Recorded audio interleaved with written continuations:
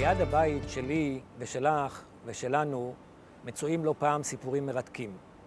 יצאנו לחפש אותם, והפעם ברחוב החשמל בתל אביב.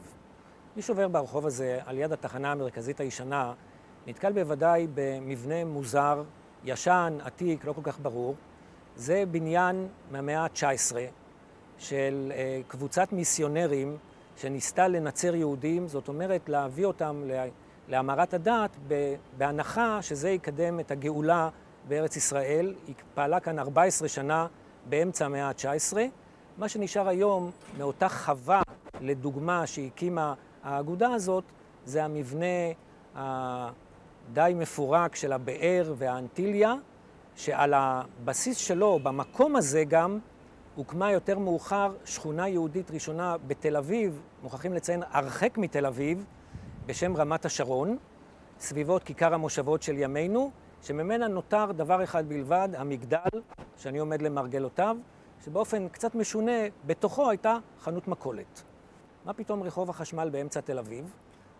זה מביא אותנו לסיפור העיקרי שלנו הפעם, לתחנת הכוח הראשונה שנבנתה בארץ ישראל, במקום הזה בדיוק, במתחם הזה של החווה לדוגמה הנוצרית, אה, על ידי אדם מופלא, איש מחשמל לגמרי, פנחס רוטנברג. כאשר התחילה בניית התחנה במקום הזה, ניצב הבית שמימיננו, אה, בית אה, ערבי ישן, אה, די חרב, ששימש את העובדים בתור משרדים, וכאן אחד הדברים המעניינים, שפנחס רוטנברג קבע את הבית שלו.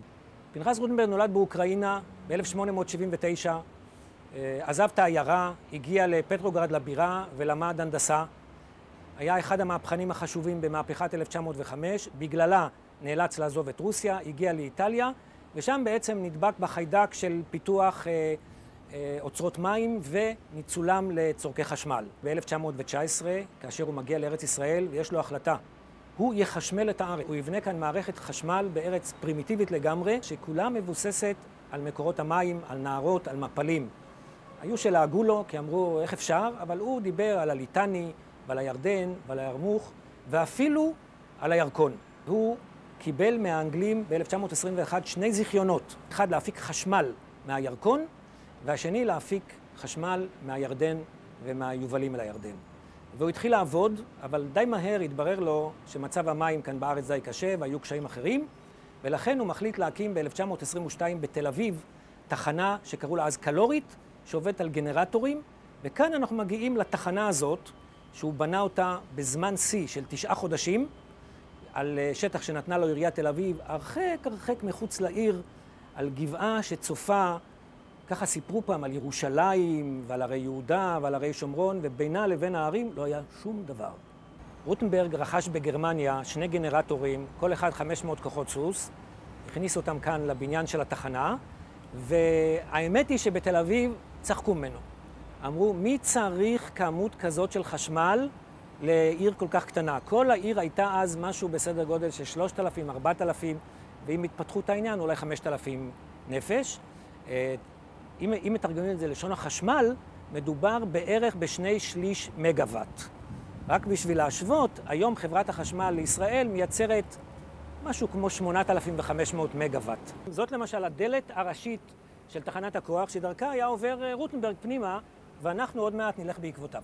אנחנו נמצאים עכשיו בלב האולם הגדול של התחנה המקורית. כאן עמדו שני הגנרטורים, לימים נוספו להם עוד שניים, שסיפקו חלק גדול מהחשמל של ארץ ישראל אה, עד כדי שלושת רבעי מהתצרוכת. בעשרה ביוני 1923 חנך את התחנה הזאת, וכל תל אביב עמדה על הרגליים. העיתון הארץ דיווח בחגיגות יתרה. כל יום ראשון עבדו פועלי הרשת במרץ יוצא מן הכלל, ובשבע שעות לפנות ערב היה הכל מוכן לניסיון. בחצי תשע, שמונה ושלושים בלשוננו, בא האדון רוטנברג בלוויית סגן מושל יפו והאדון בירקנהיים, עוזרו הראשי, לרחוב נחלת בנימין קרן אלנבי, נכנס אל הטרנספורמטור ובעצמו שלח את הזרם מן התחנה, שהאיר שש עששיות גדולות באור מבריק. מיד התאסף קהל גדול שמילא את הרחוב וערך אובציה בלשון ימינו תשואות, סוערות לרוטנברג והריע לו לכבודו בקריאות הידד. אנחנו נמצאים ליד אחד המתקנים כאן של תחנת ההשנאה הזאת. זה מתקן שמחלק את החשמל לתחנות המשנה באזור תל אביב. במקום הזה בדיוק שני הדיזלים היו מתוצרת AEG הגרמנית. זה עורר בזמנו רעש לא קטן. המימון היה של יהודים אנגלים בעיקר, והם די כעסו שלקחו תוצרת גרמנית. לימים לקחו תוצרת, חברת חשמל לקחה תוצרת כמעט מכל מקום, גם הרבה כחול לבן, אבל הנה יש לנו כאן מין סגירת מעגל, שאותה חברה שהתחילה ב-1922-23, הפירמה הזאת נמצאת גם היום פה. אנחנו רואים כאן חלק מקורי לגמרי מתחנת הכוח הראשונה, את המנוף שהעלה את הציוד הכבד. כל דבר היו מוכרחים לייבא, באמת מחוט ועד שרוך נעל. כמובן מנוף מסוג זה, עד שהביאו אותו לנמל ליפו ופרקו אותו לחתיכות ולקחו אותו בסירות והביאו אותו לכאן והרכיבו אותו פה, והנה הוא אחרי 80 שנה נמצא כאן מעלינו. כמובן לאף יישוב לא היה חשמל בתקופה ההיא, ובא רוטנברג ודיבר על תוכנית כלל ארצית, שנראתה כמו איזה אלדורדו. אף אחד לא האמין לו, ועוד אמר שיעשה את זה ממים, אז בכלל חשבו שהבן אדם, משהו לא בסדר איתו. כמה חשמל השתמשו בכלל? לאנשים היו בבית שלוש נורות, ובזה נגמר הסיפור. והנורות היו 25 ואט. כי יותר מזה, מי שם בבית יותר? וכמו שהייתה אומרת אימא שלי, תכבה את החשמל, אנחנו לא שותפים של רוטנברג. מספרים על היקים שבאו לארץ, שכל הזמן שמעו חשמל, רוטנברג, חשמל, רוטנברג. הם חשבו שבעברית אלקטריסיטי זה רוטנברג. הם ככה התחילו לדבר, שמחברים להם לבית את רוטנברג וכדומה, וגם היו אז אומרים הילדים, אבא שלי עובד ברוטנברג, כי זה היה, זה היה מותג. כאשר רוטנברג התחיל לתכנן את מפעל הירדן, הוא הגיע לדגניה והוא סיפר לחברים את ה...